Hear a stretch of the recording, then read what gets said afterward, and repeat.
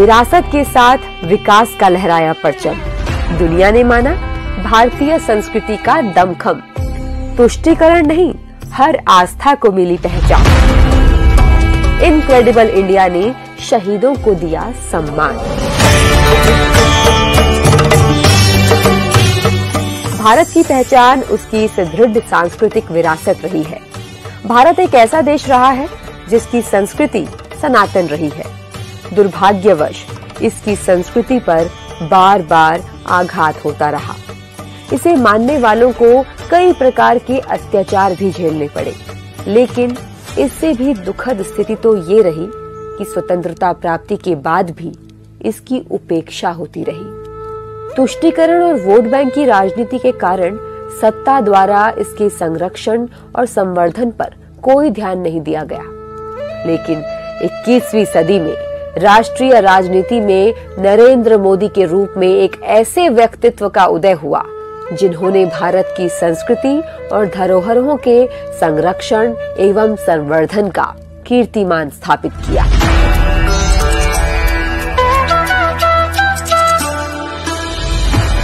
केंद्र में सत्ता संभालने के साथ ही भारत की आस्था और धर्म को बचाए रखने और उसके फिर से उत्थान का बीड़ा उठाया। और सनातन धर्म, सभ्यता और सांस्कृतिक परंपरा को पूरी दुनिया में फिर से स्थापित करने का काम किया।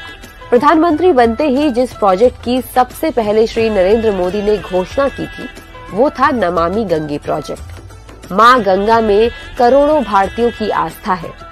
इस बात को ध्यान में रखते हुए राष्ट्रीय स्वच्छ गंगा मिशन की शुरुआत कर गंगा का कायाकल्प किया गया। और आज संयुक्त राष्ट्र ने नमामि गंगे को प्राकृतिक दुनिया को पुनर्जीवित करने के लिए शीर्ष दस पहलों में से एक के रूप में मान्यता दी है। आज सबसे लंबा river cruise M V Ganga Vilas Uttar Pradesh के बनारस से आसाम के डिब्रूगढ़ के बीच 3200 किलोमीटर की यात्रा करता है। सनातन संस्कृति के लिए प्रधानमंत्री मोदी के कार्यकाल में जो सबसे बड़ा काम हुआ है, वो है अयोध्या में राम मंदिर का निर्माण कार्य शुरू होना। लाखों हिंदुओं की आस्था के प्रतीक श्री राम जन्मभूमि के भव्य मंदिर का निर्माण तेज गति से हो रहा है। गुजरात के पावागढ़ में स्थित महाशक्ति पीठ माँ काली मंदिर के शिखर पर 500 वर्ष बाद पीएम मोदी द्वारा ध्वजा फहराई गई। मोदी सरकार के कुशल नेतृत्व में वाराणसी के काशी विश्वनाथ कॉरिडोर और कई अन्य परियोजनाओं ने शहर की गलियों, घाटों और मंदिर परिसरों का कायाकल्प किया है। मध्य प्रदेश स्थित श्री महाकाल लोक का कायाकल्प कर नया रूप दिया गया। इसके अलावा चार धाम रोड प्रोजेक्ट द्वारा चारों पवित्र धामों को ऑल वेदर रोड के ज़रिए जोड़ा जा रहा है। प्रधानमंत्री मोदी ने व्यक्तिगत रूप से केदारनाथ में रीडेवलपमेंट प्रोजेक्ट की प्रगति की मॉनिटरिंग की। पीएम मोदी ने केदारनाथ परिसर में आदि शंकराचार्य की नई प्रतिमा का अनावरण भी किया, जो सभ्यता और सांस्कृतिक की शाश्वत प्रतीक बनी रहेगी। सिर्फ़ हिंदू ही नहीं, सोमनाथ से केदारनाथ तक, अयोध्या से अजमेर तक, वाराणसी से विलंकन्नी तक, मोदी सरकार महत्वपूर्ण स्थलों को संरक्षित करना अपना कर्तव्य मानती है, चाहे वो किसी भी क्षेत्र या धर्म के हो। प्रसाद योजना के तहत हर धार्मिक स्थलों को पुनर्जीवित किया जा रहा है।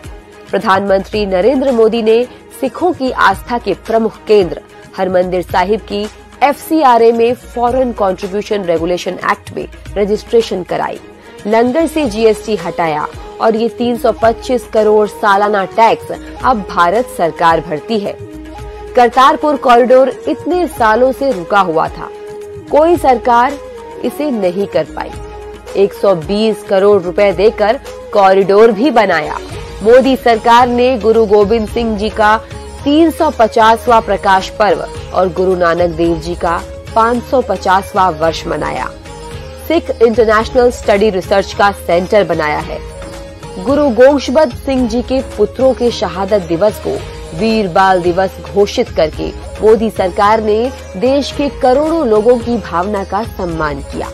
भारतीय संस्कृति के सम्मान की पहली शर्त है कि भारतीय मानस सालों की गुलामी की मानसिकता से आज़ाद हो। इसी क्रम में मोदी सरकार ने इस दिशा में प्रभावी कदम उठाते हुए गुलामी के प्रतीक राजपथ का पुनर्विकास कर कर्तव्य पथ किया। इंडिया गेट के पास जॉर्ज द फिफ्थ की निशानी को मिटाकर नेताजी सुभाष चंद्र बोस की प्रतिमा को स्थापित किया। भारतीय नौसेना के झंडे से सेंट जॉर्ज क्रॉस को हटाकर छत्रपति शिवाजी की शाही मुहर को स्थान दिया गया। देश की खोई हुई विरासत को वापस लाना मोदी सरकार की प्राथमिकताओं में से एक है। भारत में सदियों से अनगिनत बेशकीमती कलाकृतियाँ चोरी होती रही और उन्हें तस्करी कर दूसरे देशों में ले जाया गया। इनमें से कुछ सांस्कृतिक और धार्मिक रूप से भारत के लिए बेहद महत्वपूर्ण थी। मोदी सरकार ने इस समस्या की गंभीरता को समझते हुए ब्रिंगिंग बैक आवर गॉड्स के लिए आगे बढ़कर काम किया। कई विदेशी दौरों पर प्रधानमंत्री मोदी ने इस पर चर्चा की। इसी का परिणाम है कि आज कई देश चोरी हुए बेशकीमती शिल्प और एंटीक कलाकृतियों को वापसी के लिए स्वयं भारत से संपर्क साध रहे हैं। भारतीय संस्कृति और धरोहर के सबसे बड़े दस्तावेज़ है। वो राष्ट्रीय नायक जिन्होंने अपना जीवन देश के लिए समर्पित कर दिया। प्रधानमंत्री ने उन शहीदों को श्रद्धांजलि देते हुए नेशनल वॉर मेमोरियल का निर्माण करवाया। अंडमान निकोबार के 25 द्वीपों के नाम परमवीर चक्र से सम्मानित शहीदों के नाम पर रखे गए। गुजरात के केवड़िया में सरदार वल्लभ भाई पटेल की दुनिया की सबसे बड़ी प्रतिमा को स्टैचू ऑफ़ यूनिटी के रूप में स्थापित किया।